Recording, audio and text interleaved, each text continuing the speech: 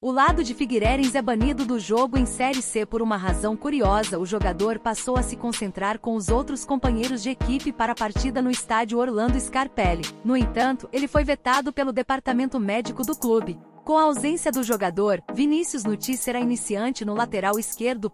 Vale ressaltar que além de William Matheus, o clube também não terá atacante Bruno General disponível. Alinhar o Furacão vai para o campo com Wilson, Elias, Otávio Guti, Maurócio Vinícius Nuti, Robson Alemão, Gladson e Léo Arthur, Andrew, Gabriel Conceber Gustavo França.